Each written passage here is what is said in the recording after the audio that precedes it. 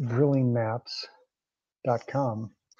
Drilling Maps was started uh, about five or six years ago, um, largely in response to um, providing a research database for communities of people that want to find more information about the health and safety issues about energy related activity going on around them.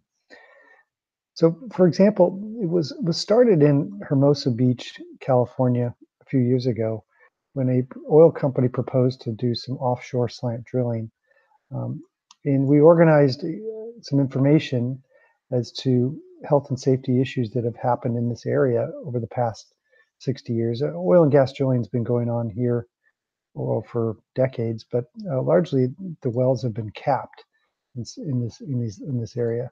But we wanted to find out more information and aggregate news articles and put them on a map about health and safety issues that have happened over the years and provide that. So we did that, and we realized over the time that this was that there was a need for this data across the country and other communities such as Huntington Beach and Long Beach and gosh, you name it across the country.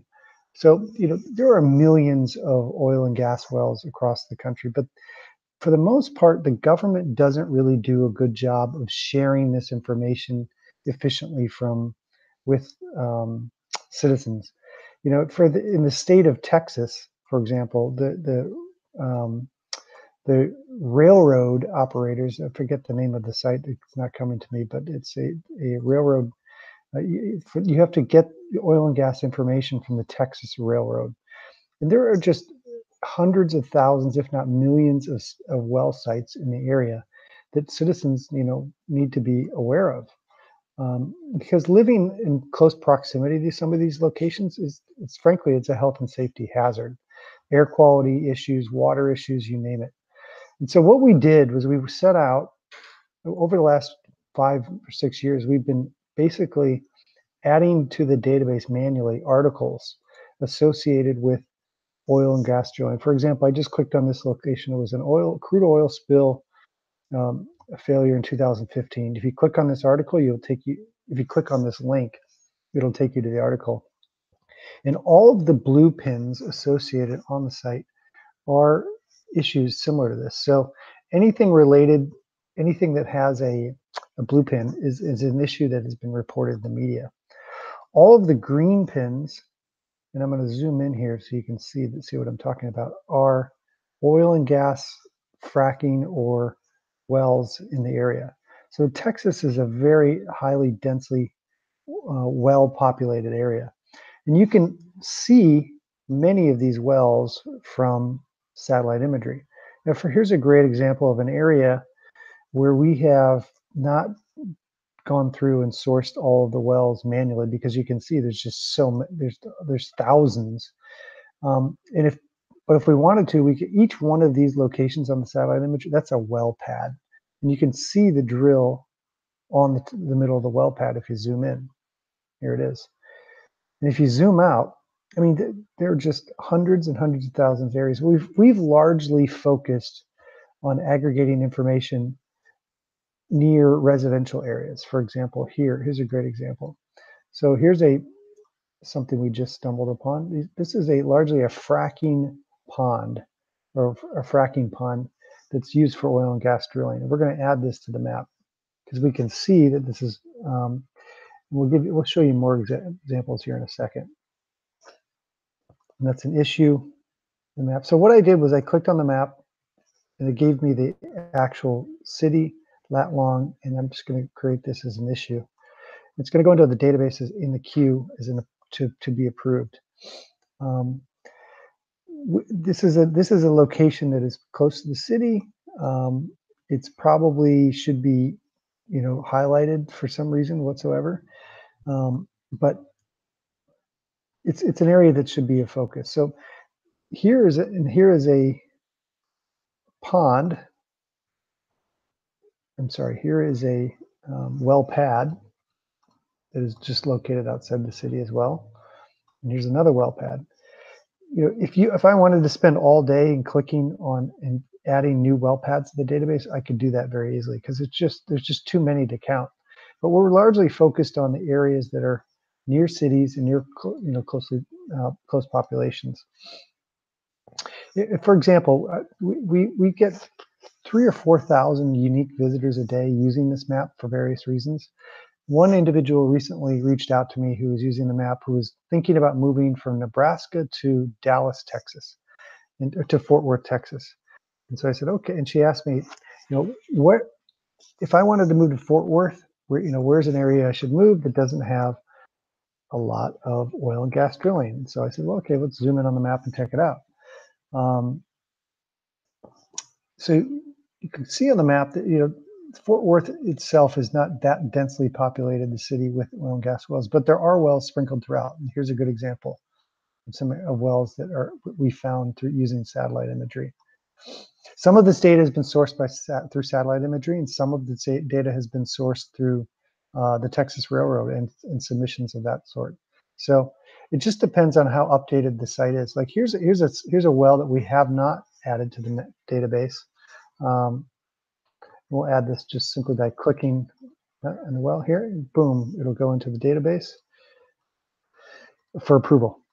Um, and this will show up on the map once we approve it. Um, these are largely the areas that we're trying to aggregate and put into the database because they, I mean, as you can see, this is, you know, within a, you know, a hundred, a few hundred meters of someone's backyard. Um,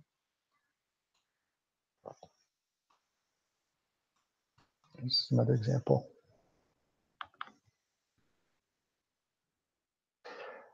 This, these are the areas we're focused on. Um, the the that's that, that has the other areas that we are very focused on, you can also toggle in and off traffic, and some, some folks like to use this area, that feature a lot on the map, um, are the refineries. The refineries are all located in red on the map, and you can zoom in and out and, and um, see what I mean here. The, the, these are this is a smaller refinery, um, and we'll zoom in on Houston just so you get a sense of all the refineries going on there. So Houston has a lot of health and safety issues associated with some of these refineries, and we've aggregated. You can see the refineries here from the map, the tanks, um, the in the um, the heavy machinery and equipment. These are all articles that have been published in the last four, five, six, seven years about you know the pollution issues or issues the neighbors have been having with the the refineries um, EPA um, articles and what have you. So search the data. You can you can search the database for let's call it. Let's just do a search for a refinery. Let's do a refinery fire and see what come brings up. Well, there's 19 entries that have been in the database that has to do with the refinery fire. How about refinery explosion? Let's see what happened. 18 entries that have to do with that. So I mean, the database has over 80,000 locations in it. Um, and, you know, I encourage you to, to spend time on the map and do searches um, that uh, of information you're looking for. This is a this is another example of, of information we added to the map. These, these are the recent Southern California fires that were going on in the area. And these were fires largely around oil and gas wells here. Um, from what I from what I've told, many of these wells were okay and they were fire, you know, very fairly well fire protected. But as you can see, they were very the fire was in very close proximity to significant oil and gas drilling and could have could have had um, significant effects on the air quality. Um, what else was I going to say? Uh, the so there's there's oil and gas drilling in green, refineries in red, and then power plants are also in purple. And the reason we're mapping all of these together in one database is to give you a sense of just how much energy, energy related activity is going on around you. So for example, here in Long Beach, there's a ton of refinery activity as well as power plants in the area. And they two of them, the, these two industries typically group together um, in most cities. Um, and that's, you know, large, they're largely industrial areas. And then we've also grouped in, you know, um, hydroelectric plants in the area. These are largely in the mountains of areas. Um, you know, and then also wind-related um, renewable plants. The we used to have solar energy maps as a separate as a database that sat on top of uh, below this um, health and safety database with oil and gas, but it just became too cluttered and hard to look at.